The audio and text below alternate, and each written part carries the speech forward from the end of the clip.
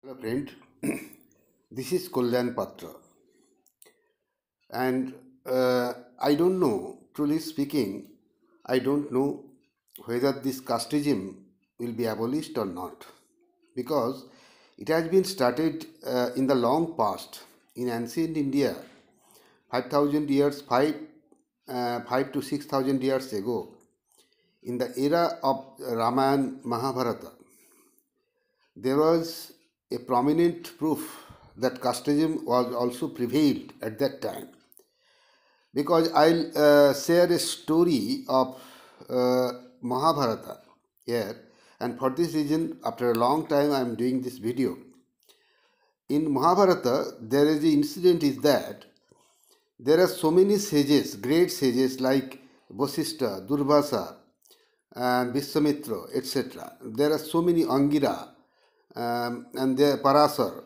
There are so many sages uh, and munis and rishis are there in that in that time and you will be surprised to know that in that is even in the mind of the those sages muni rishi and uh, great sages in their mind also there is some differences quality difference and this quality difference uh, is one kind of casteism because there was an incident in Mahabharata uh, that uh, the sages, the uh, Rishi Vishwamitra, was angry upon all the other sages, all the most of the other sages, because why the uh, reason is that in the Aswamed Jagga or in in a great Jagga, uh, when the Jagga was happened was performed then the sages, all the sages would uh, mm, sit uh, round the uh, fire. The fire in the middle, and the sages would uh, sit uh, around the fire. But but the uh, the first there are the first row in the first circle in the first circle the Brahman sages would sit and the next circle the Kshatriya sages would sit. And the uh, third circle there are some other than Kshatriya. And the last circle only uh, uh, uh, sages would sit. And Vishwamitra was a great, powerful sages and he belonged to Sudra community. And so this type of discrimination allowed uh, Vishwamitra would never tolerate it, tolerate, and he uh, become rebellious against the other angry and rebellious against the other sages and the customs. And uh, he thought that this is the mankind who discriminate themselves and i will create an world where the man would be produced, man would be take uh, take birth not from man or woman, but from tree, and so he make a great yoga, no, uh, sadhana, what is called uh, meditation or sadhana, and he tried to uh, make, uh, he tried to um, uh, a, medi- medi- sadhana that so that the man can be taken birth from tree. And he was almost successful. When he was almost successful then lord narada the narada told to uh, brahma first that uh, rishi vishwamitra was trying to make uh, to make an another world where people will take birth from tree. And he is almost successful i think. Then brahma in his own power thought that Vishwamitra was absolutely, uh, Narada was absolutely right, and Vishwamitra was trying to make uh, a world where the people will born from the tree. And so he uh, at once go to Lord Vishnu. And Lord Vishnu see uh, that uh, yes he is going he is doing that. Then all them go to Lord Shiva. Lord Shiva also agree with that. Yes Vishwamitra uh, Lord Vishwamitra is doing that.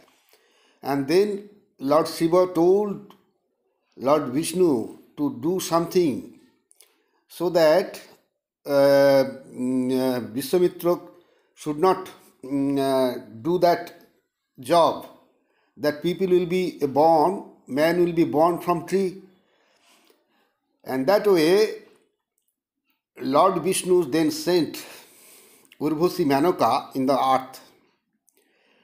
The only duty of the Urvasi is to tempt Lord uh, uh, uh, Vishwamitra so that his meditation or his sadhana would be destroyed. And Manoka was doing and dancing and singing and uh, uh, uh, uh, Lord Vishnu first uh, told Indra, Lord Indra, uh, please share, please do something.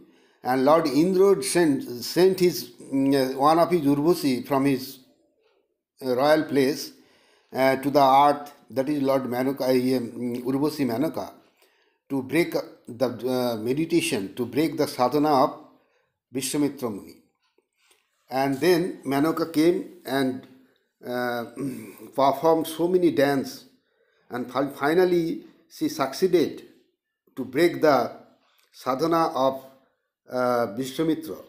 And Vishwamitra was almost tried uh, to, uh, to his venture, that is, people will born from tree and that is from coconut tree. And that is why in coconut there are two eyes two eyes and one mouth.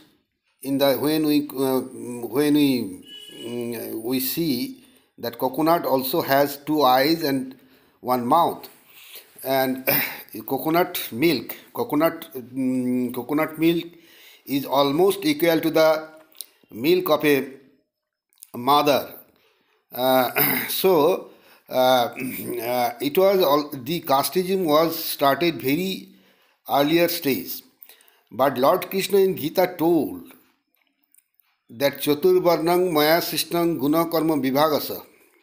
That means uh, the fourth uh, four number of caste i have created uh, due to this due to their work and their quality.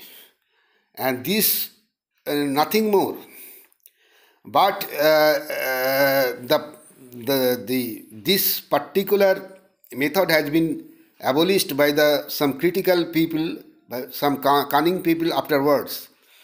Because they think that this casteism will go on continuing through blood relation but blood lord krishna never told in the gita that it should be continued through blood relation.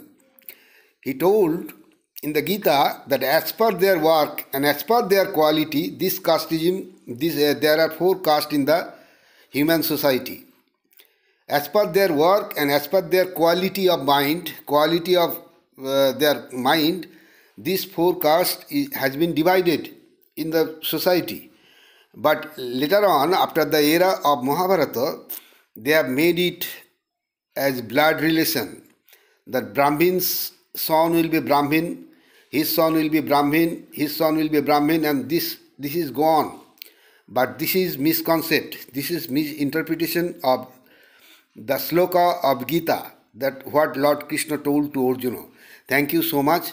And uh, it is a very mm, sinful event, and casteism is a uh, is uh, uh a crime one kind of untouchability and casteism we don't feel but uh, Baba Sahib Ambedkar had felt what they what tortured he had been mm, he had been uh, endured in his lifetime and so thank you. Uh, it should be abolished from the mind of progressive man. Thank you